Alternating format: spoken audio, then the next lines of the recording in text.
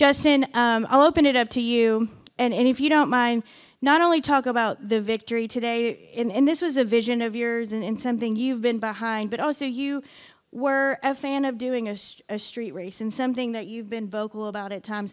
Just talk a little bit about today coming to Chicago and then Trackhouse taking home the win.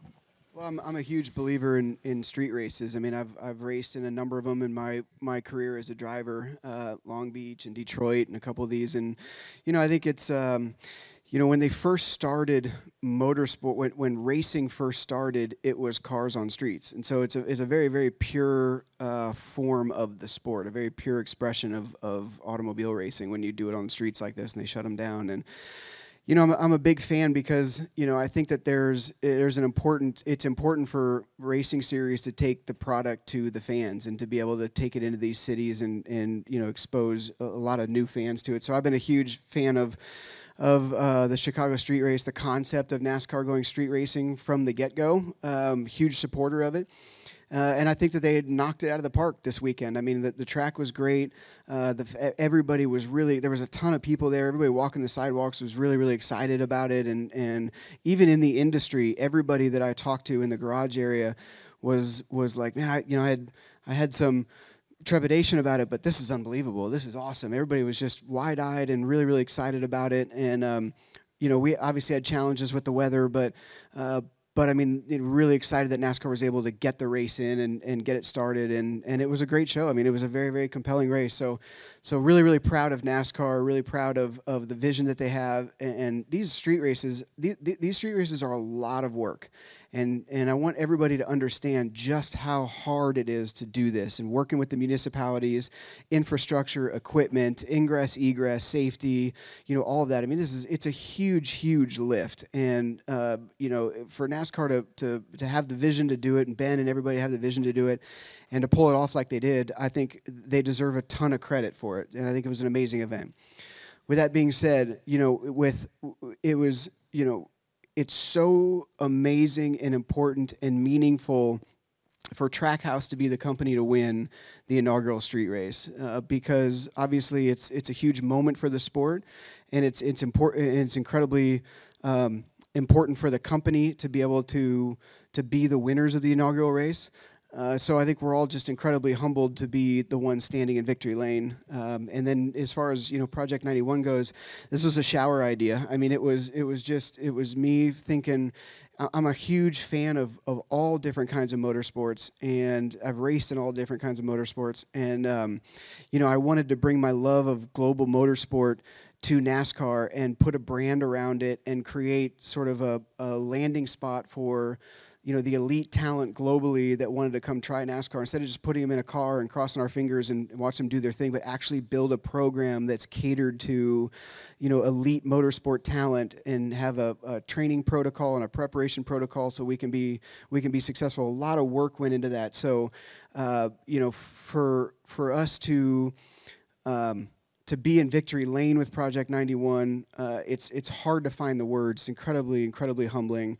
You know, Kimi Räikkönen and and Chevrolet were a big part of getting this thing going, and then for us to be able to grab a guy like Shane, who I'm a huge fan of and have been a fan of for a long time, you know, put him in this position and you know just just watch him do his thing was I think an, not great for our company, but an incredibly compelling thing for the fans and for the industry and for everybody that was here this weekend. All right, we'll go ahead and bring up our race winning crew chief as well, Darian Grubb. Darian, go ahead and come up here and join us. Before we go to questions, we'll grab a quick comment here. Pull this guy out of retirement as a crew chief. From Darian. Put that right was back actually, victory lane. that was actually going to be my question. Darian, you, you've had wins, you've had championships, but um, maybe tell us where this one ranks today. I think this one ranks up there pretty high. Uh, just the fact that Justin puts faith in the whole group there at Trackhouse Racing and being able to put this on as an extra effort and come here than just see all those guys get to go to victory lane. Uh, it's the shop foreman is the car chief, Gary Putnam, and those guys they they all poured extra into this. It's outside of their normal jobs. We still had to do those. We still had to go do the shakedown test that NASCAR allows us. We did a lot of extra work. The engineers did an amazing job in preparation. And then I have to say, Shane just did an amazing job as well, just in preparing and asking the right questions, being prepared for this event. We'll go ahead um, and open for questions. We'll work to get as many questions in as we can. I know we've got a lot of hands up. So hang with me a bit. We'll work our way around the room, um, and we'll start up front with Matt Weaver. Matt Weaver, Sportsnaut. Justin, um, last week at Nashville, you said that that was, you thought, maybe, I don't know if you said it was the most important win or the biggest win, but to win a traditional NASCAR race um, on a mile and a half ish, um, you thought that was extremely significant. So I'm curious, how does this, your, your baby car, Project 91, inaugural Streets of Chicago, how does that compare to Nashville? Well, I think I mean it's this is an incredible win for the company. Uh, it definitely ranks up there. It's just it's different. I mean it's and I'm still sort of processing it to be honest because it's it's so new um, right now. But um, I mean I think it's it's important in the sense that you know it's it's. Um, a lot of what we're trying to do at Trackhouse is new and different and exciting for the sport. We're trying to inject something into the sport that it hasn't seen before, that the fans haven't seen before.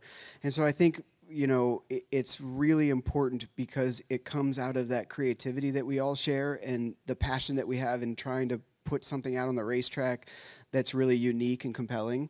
Um, and and it's kind of a you know it was it was it's not a crazy idea. Like people have, have done this before but to put a brand on it and to actually you know build a group around it that, that you know Darian leads and and go to the go to the company and say hey, this this is this is an idea that we want to do and it's actually like a unit in the company. I mean to put that into victory lane is I mean it's it's hard to find the words for it because it's so different. Like it doesn't put anybody in the playoffs. It doesn't you know it doesn't it, it doesn't really do any of that, but but it's um, but it's an it's a credible moment for the fact that we are trying to be a special team that's that's different and compelling and exciting for the fans. And and you know for an idea a concept that I came to these guys with and said you know would you take this on? Would you do the extra work and take this on and for them to embrace it and then to put it in victory lane is is really um, you know, it's sort of like anything is possible. Like if you can dream it, you can do it. And um, yeah, that's that's kind of my emotions. It, it's it's hard because it's a little bit, it's just a little bit different because you know obviously Shane's not a full time driver. It's his first ever race. It's not a full time team. There's no playoff implications. There's you know nothing like that. But it's just a great moment for our company and for Chevrolet and for uh, Enhance Health and for us as a group that's excited about just sort of doing unique, different things. If the mic is on. Okay. I don't know if we're too far removed from this being like still a concept car.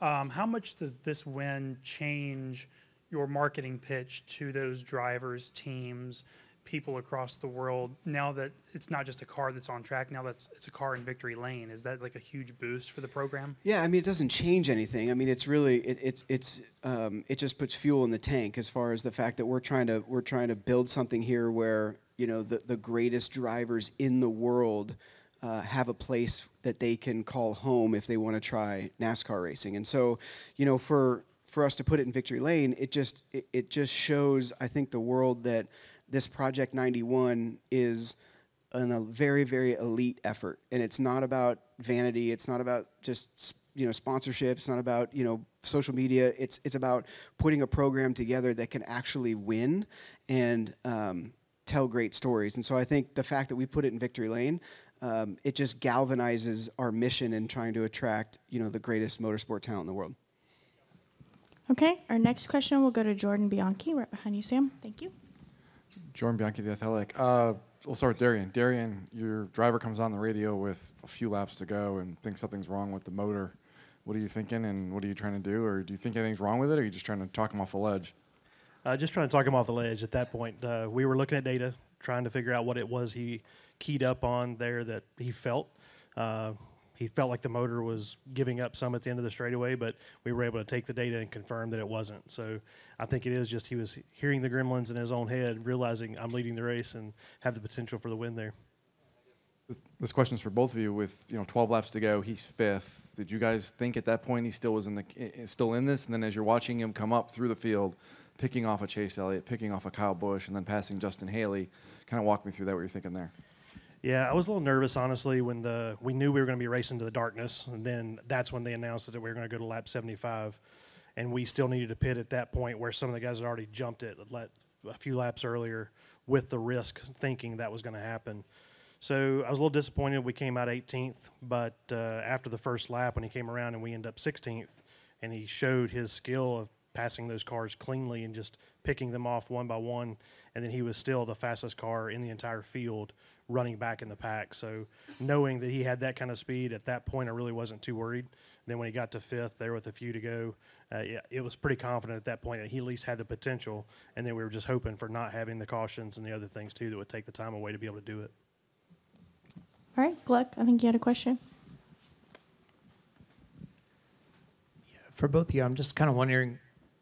Obviously, like you know, he has the talent to win, right? Like you're going into this whole thing, and you know, I'm sure in the sim and at the Charlotte test and all this stuff, you're like, wow, he, you know, if everything comes together, he could do it. But like, it's still sort of a long shot. Like we just don't really see this, right? So, at what point this weekend or today did it flip for you guys from like, yeah, you know, he could win to like, oh, he he's he's gonna win. Honestly, for me, I would say it was Monday when we did the test at the Roval. I, I have to give kudos to NASCAR for letting us swap that program up and work more for the safety. We weren't allowed to do any setup changes or anything with it. It's just going to make laps but being able to work on seat belts, steering column, brake pedals, and obviously with the awesome foot cam that was on there this week, everybody gets to see his footwork. So just adjusting brake pedals and pads and the throttle pedal and those things, that was critical for him to be comfortable in a car and be able to do what he could do. So thank you to those guys for changing that program and making it now where we can work about the safety and the consistency. But then that day, watching his disciplined approach of managing tire wear, let him do a long run. We did 26 laps there at the end of the test, just let him feel how the tires would fall off. We were running part of the Legends course on the backstretch, so it's nothing that even correlates to anything we do on a racetrack. But those are corners that he felt like he could go attack and understand what it would be for a 90 degree corner somewhere. So those things, you see his talent level and you see his questioning of his own ability, and he wanted to go in there and try it five different ways. And you just sit there and watch. We don't have data on the car or anything, but you can see him learning with every lap and he could do consistent laps all day long. And then when we got to the simulator later than the week, watching how he had studied what the other guys had done and being able to go out there lap three and beat their lap times in most cases was pretty impressive. And, and, his feedback in the car matched exactly what we were expecting with simulation programs and everything we do with Chevrolet. Having their background over there and what we have here with Chevrolet, it was really awesome to see that feedback all match up. Yeah, I think I think for me, it, it's for me it kind of just built throughout the week, right? It was sort of like, you know, it, it we had a lot of. Um, um, you know, hope and belief that he could be very, very competitive. But as soon as he landed, it was like his his focus and his understanding of what we were doing was really, really impressive, and his learning curve through the week great sim session. You know, he was really he came to Nashville last weekend and sat on the box and was really plugged in, asking questions and really absorbing it all. And then as the week went on, it was like one of the best sim sessions these guys have had. And you know, great tests like Darian said. And you know, he wanted to spend a lot more time on our static sim at the shop than he kept asking to go back to it and spent a lot of time on it. And then when we got here, you know, through practice, it was just it just started building. It was like we all kind of were like, man, we you know, we, we've got a real shot here. But there's always that thing in your mind. It's like, you know, NASCAR races just they, they get kind of bananas. And there's it's not just about the speed, right? It's about, you know, getting on and off pit road. He's never made a pit stop before and this obviously in this this type of pit stop before and these late restarts and you you know, there's just a lot of other variables. And so that's always in the back of your mind, you know, is that gonna is that gonna play into sort of how how the race goes, but you know he, he showed so much speed in his his approach and focus and everything in practice was in qualifying. He just adapted to everything so well. Um, and then as the race went on and he got into position there, you know his his speed late in the race was was really really good. And and he's you know he's such a racer. He made those passes. He made the pass on Chase. He made the pass on Justin. And the caution came out and and um, you know the green typically the green white checkered is just like ah oh, man you're just you're nervous because it just goes crazy and things happen. But the way they put the the um, the restart zone you know I was I was I was remarkably calm honestly for the restart because I just knew if he just got through 12 and got the jump off there that that you know the whole build of the week it was like there was no there was no anxiety about him making a mistake or missing his turn in or anything like that we just just get to the white flag and get done he just put on a clinic it was unbelievable All right, we're going to go to Dustin Long.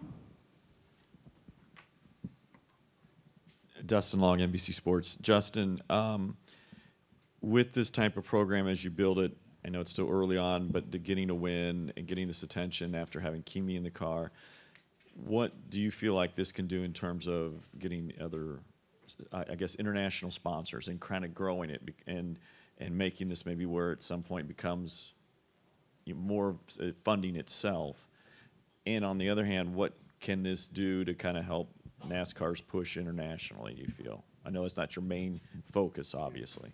Well, I mean, from a commercial standpoint, it, it was a big weekend because because you know we had a company come in that said we want to sponsor Project 91. You go get the driver. It wasn't attached to a driver or anything like that. And Enhance Health came in and said we love this concept and and you know we want to sponsor it. So so that was a that was a that's a big moment for our company is that actually you know a, a partner looked at it and said we believe in this Project 91 thing siloed from everything else. We really we really love it. We want to be a part of it. You know, I, I think as far as what it does, it it it just you know hopefully I think it just makes Project 91 be on a lot more people's radar internationally, and um, you know we can attract continue to attract. Uh, the top talent in the world. I think, as far as like expansion and growth, you know, we didn't hire anybody for Project 91. Everybody that works on Project 91, like Darian said, already works for the company. They've got you know other jobs for the company, and so you know, I think as far as scaling Project 91, you know, it's a two or three race a year program, and beyond that, it starts to get it starts to get to be kind of a lift. It starts to sort of feel like a third a third team. So, you know, we're pretty committed to just being. Um, very focused on the races that we do and very committed and do them in, in a great way where we can come out here and, and win. Uh, and then as far as NASCAR, I mean, you know, we Trackhouse Trackhouse is you know we approach our partners we approach NASCAR as partners and and we really want to help each other. And we've got a great relationship with the sport and it's important to Ben it's important to to Jim and Lisa and Steve and everybody that you know this sport grows and that this sport becomes more and more internationally relevant. And if we can do all of the things where we can win for us and sign great sponsors and have great days like today but also contribute to that mission then we're here for that. And so you know I take a I take a little bit of personal pride in being able to deliver something to that that international initiative because NASCAR racing is special. It's unique, and there's nothing in the world like it. And I think the more people globally that we can get tuned in and excited about this sport, the better it is for all of us. And I think today was a step in that direction. And to check, Watkins Glen, that's the only other Project 91 race? We don't we don't have any other Project 91 races on the calendar right now. This is this is it right now. Right across from, no, right over there, S- Sam in the tan. Yep.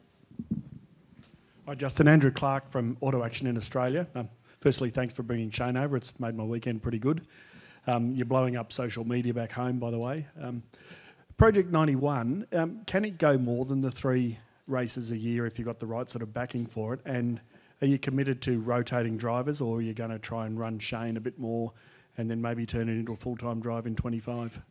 Well, I mean, like I said, beyond probably three races, it starts to be a third team. It starts to really kind of drain, not drain, but take resources from you know the one and the 99 car, which is what really focused on in Trackhouse, getting both those cars in the championship and being able to make a championship run.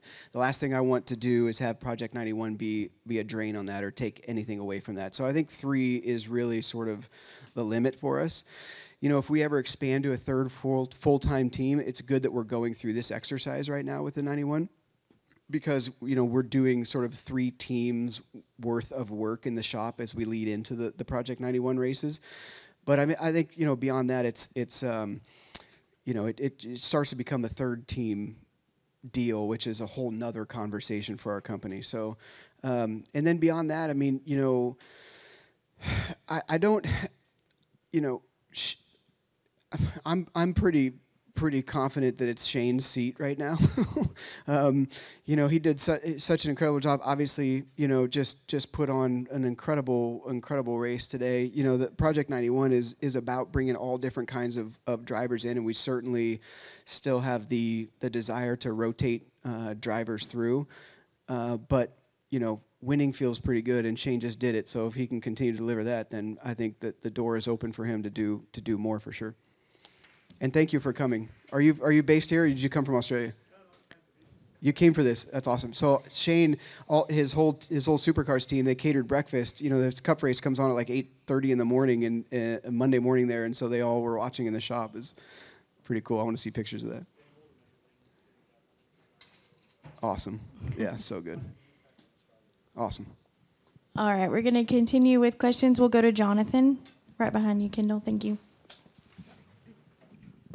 Uh, this question is for J- Darian. Um, you've worked with a lot of different drivers over the years Tony Stewart, Denny Hamlin, Carl Edwards.